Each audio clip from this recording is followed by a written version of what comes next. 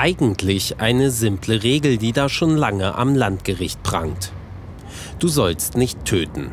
Doch weil sich nicht alle an sie halten, geht es heute hinter diesen Fenstern dramatisch zu. Im Saal 218 bringt der wegen Mordes angeklagte Ehemann von Ekaterina B. seine mehrstündige Aussage zu Ende. Heute hat der Angeklagte seine Einlassung fortgesetzt. Er hat ja bereits gestern den gesamten Sitzungstag über zu seinen persönlichen Verhältnissen sich geäußert. Heute hat er Angaben zum Tatgeschehen gemacht. Und mit diesen Angaben versucht er den Verdacht gegen sich zu entkräften.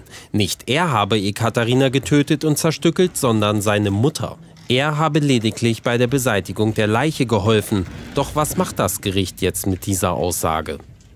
Die Kammer wird also sehr sorgfältig jetzt die Angaben des Angeklagten mit dem bisherigen Beweisergebnis in Verbindung bringen, abprüfen und wird dann entsprechende Nachfragen im nächsten Termin stellen.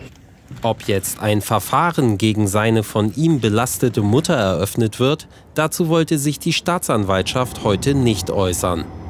Der Prozess wird am Montag fortgesetzt.